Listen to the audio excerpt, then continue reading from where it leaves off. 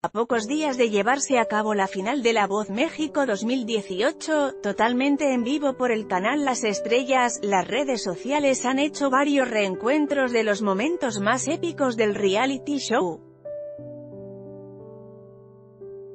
Uno de los más impactantes fue cuando llegó al programa la exacadémica de TV Azteca, Erika Alcocer, quien decidió irse con Maluma y despreciar a su colega Carlos Rivera.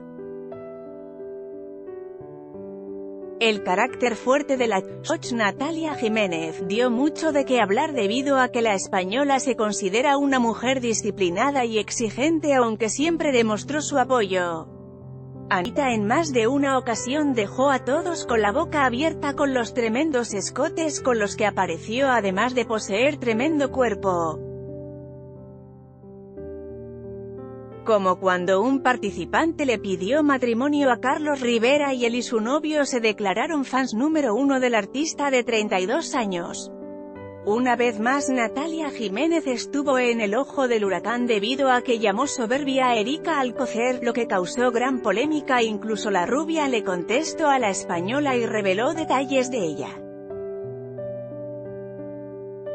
Cabe mencionar que el programa le ha ganado a la competencia Masterchef México la cual es transmitido por TV Azteca. En esta nota, La Voz México Maluma Carlos Rivera